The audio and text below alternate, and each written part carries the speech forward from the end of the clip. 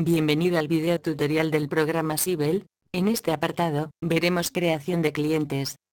Los clientes son el primer eslabón para crear pedidos de venta en Sibel. Para verlos, debemos ir a la pestaña Clientes. Y allí se nos muestra, en primer lugar en la parte superior, una lista con los clientes. Y en la parte inferior, la ficha con los datos del cliente seleccionado en la lista.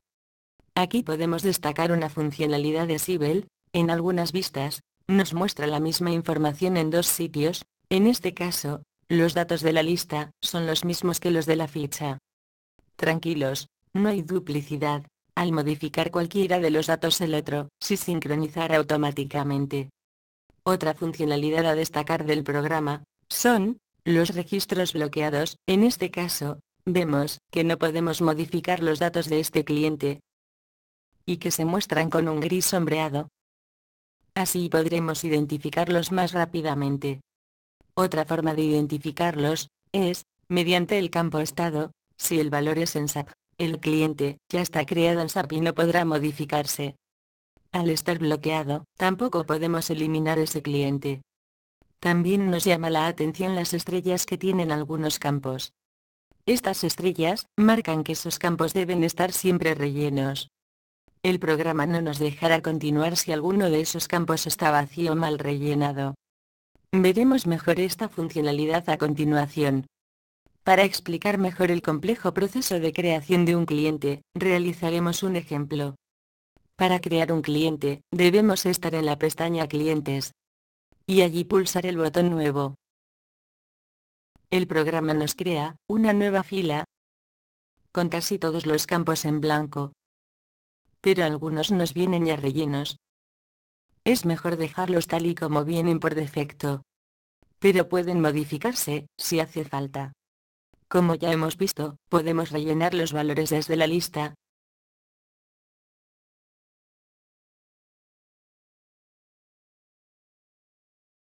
O desde la ficha. No importa desde cuál lo hagamos, ya que el resultado será el mismo. También recordamos que los campos con la estrella roja son obligatorios de rellenar, y el programa no nos dejará continuar hasta que los rellenemos. Vamos a ver un ejemplo de esto, desplegamos el menú, y hacemos clic en guardar registro. Nos muestra un mensaje emergente que nos indica el campo que es requerido y que especifiquemos un valor. Conociendo el campo, solo tenemos que buscarlo y rellenarlo con un valor. Podríamos repetir este paso hasta verificar que todo está correcto, rellenando los campos que nos van informando los mensajes. Para hacerlo más rápido, podemos utilizar el acelerador de guardar registro. Pulsamos, en el teclado, la tecla control. Y manteniendo la pulsada, pulsamos también la tecla S. Cuando finalmente guardemos, y el programa no nos muestre ningún mensaje, significará que todo está bien, y el cliente ha sido guardado en el sistema.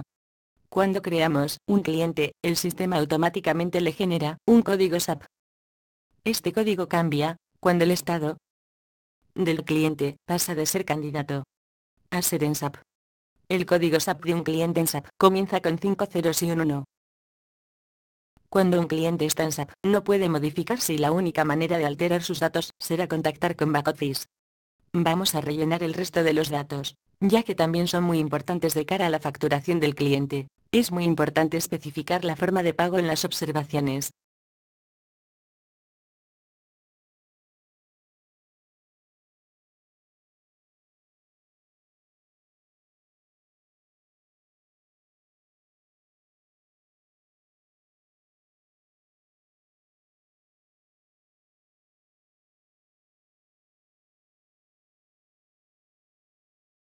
El segundo paso para crear un cliente es rellenar sus direcciones. Vemos que la razón social de los clientes es también un hipervínculo, como en las páginas web. Esta funcionalidad de navegación no es única de los clientes y aparece en otras vistas. En este caso para ver algunos datos del cliente, debemos entrar al detalle, haciendo clic sobre la razón social del cliente. Se nos mostrará la ficha del cliente y esta nueva información que necesitamos. Vamos a la pestaña Direcciones. Hacemos clic en Nuevo. Debemos saber que los campos requeridos para crear direcciones son dirección y ciudad. Rellenamos todos los campos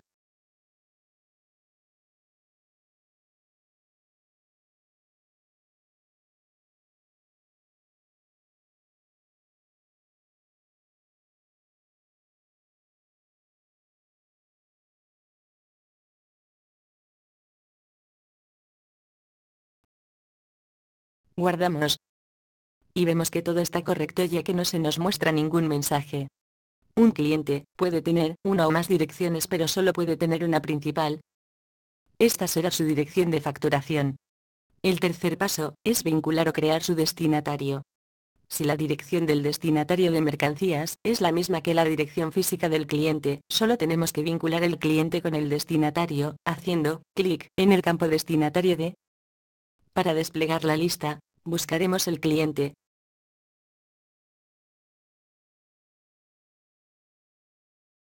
Y lo seleccionaremos haciendo doble clic, o con el botón aceptar.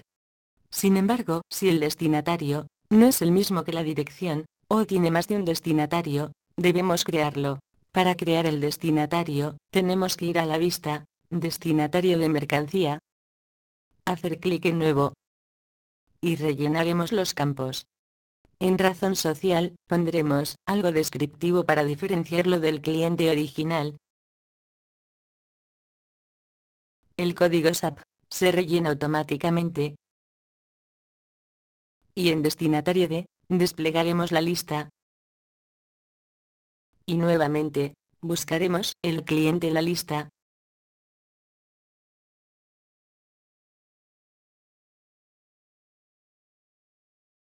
y lo seleccionaremos. Un destinatario es un cliente que solo tiene dirección, por lo tanto, debemos rellenarlo como en los clientes, hacemos clic en Nuevo y rellenamos sus campos.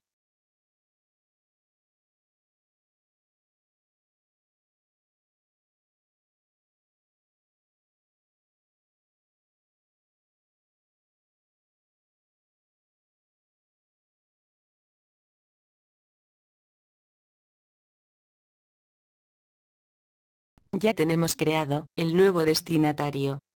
Si volvemos a la ficha del cliente, en la pestaña Destinatarios, tenemos el original del cliente y el que hemos creado nuevo.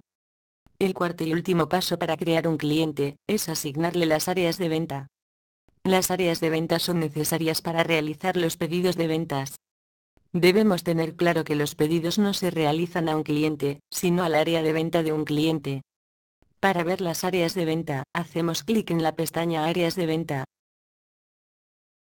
Y pulsando el botón Nuevo, se nos añade una nueva línea. Seleccionamos el sector y rellenamos el resto de los campos.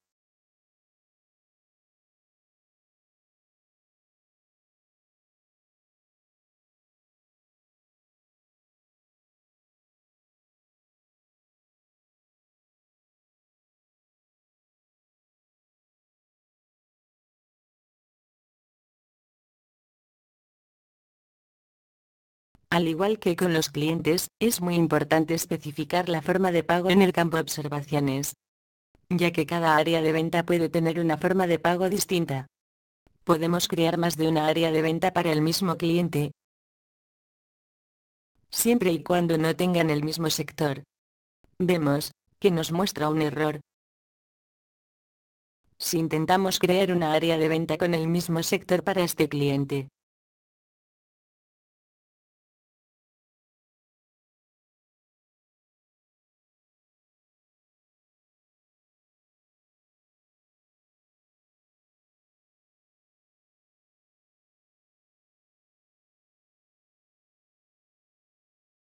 Con esto, hemos terminado el video tutorial creación de clientes, espero haberte ayudado, y te animo a seguir consultando otros video tutoriales.